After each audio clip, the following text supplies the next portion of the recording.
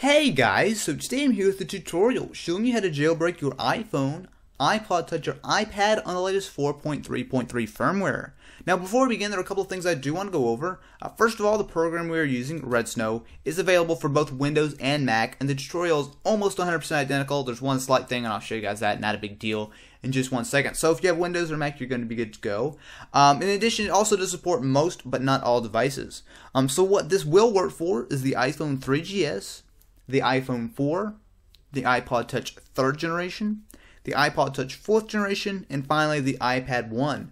This does not support the iPad 2 just yet. It's on the way, but it's not quite out. And of course, this is an untethered jailbreak, which means you don't have to be worrying about anything like plugging your device in, rebooting, and all that kind of stuff. Really, none of that nonsense. You were able to work just like you would expect.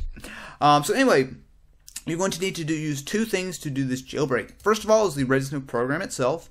Uh, like I said, it's available for both Windows and Mac, and I have a link in the description where you can download whichever one you need. And secondly, you're going to need the IPSW, also known as the firmware file for your device. Uh, now this is not really tricky at all to get. I almost said it was, but no, it's really not. Um, all you need to do is hit the link in the description. I'll have a couple of them there. Um, you basically find your firmware file. Uh, you may already have it on your computer, in which case you can just drag it onto your desktop or where, whatever's most convenient for you or you can have to, or if you don't, you can go ahead and download it. But either way, uh, be sure you have both of these before continuing. Uh, now there is one additional step, and this is uh, only uh, if you are using Windows 7. So if you're on an earlier version of Windows or on Mac, you can totally skip this bit. Uh, but what you need to do is right-click redsn0w, come down to Properties, and then if you guys can see here, come over to the Compatibility tab, which should be the second from the left. And there's going to be two things we need to do here.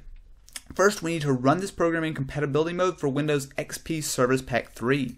And now, different people have had different success rates for you know all these kinds. Um, I think, as far as I've been able to test, uh, Service Pack 3 has always worked. Uh, of course, Windows XP Service Pack 3 has always worked perfect for me.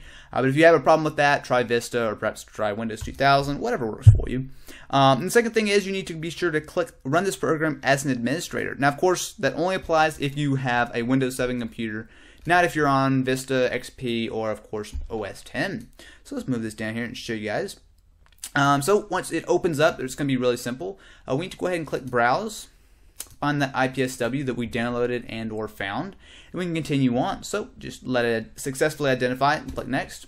It'll take just a moment to, to prepare the jailbreak data. And while it's doing this, I do want to mention that uh, you should not lose any of your data in the jailbreak but I highly recommend that at this point, or even if you know before you even begin, uh, hook it up with iTunes, let it fully sync all of your data, and you should be good to go. You don't have to worry about anything like losing data, even if something does go wrong in the process.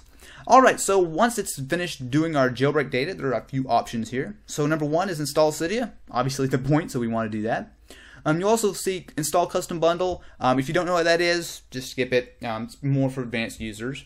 Um, allow boot animation. I recommend going ahead and doing that because that allows you to get some animated boot logos. Uh, nothing fancy and you don't have to, but I recommend doing it just because, you know, why not?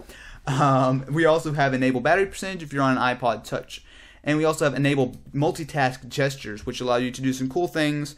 Um, once you're done with the jailbreak, go into options. There's going to be a new setting there. Enable it and allow you to do some cool things like four finger gestures to, uh, you know, switch between apps and whatnot. Pretty cool stuff. But of course, the, all, these are optional. The only thing that's the most important thing is to have make sure that install Cydia is checked. All right, so the next step is to actually do our jailbreak. So if I can do this without knocking my microphone over, I will show you guys. And what you need to do is you need to have your iPod, iPhone, or iPad. I'll be showing you guys with an iPod Touch 4th generation, but of course the procedure is the same no matter what. Let me line that up a little bit better so you guys can see everything. Uh, so you need to have it off, so I will indeed go ahead and do this right now. So, and of course I'm on 4.3.3. Uh, you need to have it plugged in, so it, now would be a great time to let iTunes back up all your data. But once it's all backed up, you're good to go. Plug your device in and then hold the power button. So we'll do this for just a second here. And then slide to power off.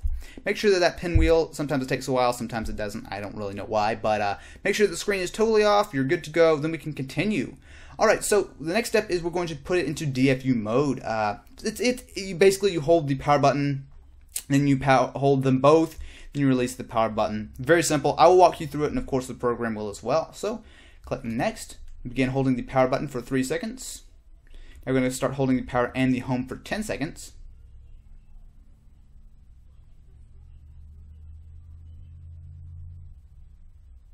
And we are going to release the power button and continue holding the home button. Uh, very simple. If you drop a button or for whatever reason, uh, just hold both the power and the home and let it cycle through. Uh, not a big deal, but uh, you know it's it's easy, especially if you have a case like this where buttons are kind of hard to get at. But anyway, uh, once you see all this, you can see it says downloading jailbreak data. We're good to go. We just let it uh, the computer run for a few minutes, um, and I will be right back as soon as it's done. All right, so it just finished up. So if everything went according to plan, and of course it should have, uh, you will now see a new option called Cydia. If I can get this nice and close to the camera.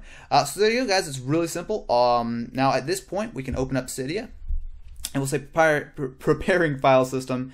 Uh, this will take a little while. It'll reboot and all that kind of stuff. But as far as we're, uh, as far as you know, doing any work, we're all good. Just give it a little bit of time, and we can go and download all the cool Cydia bits that we want. Uh, so anyway, guys, that's about it for my tutorial showing you how to jailbreak iOS 4.3.3. Um, if you found this helpful, be sure to hit that subscribe button above. I do lots of other jailbreak related content. If you have any problems, questions, anything like that, be sure to hit the uh, hit up the comments, and I will do my best to help you out. So there we go. Open this up here and show you guys that it, of course, does work. So at this point, go download all the cool stuff that you want, and you're good to go.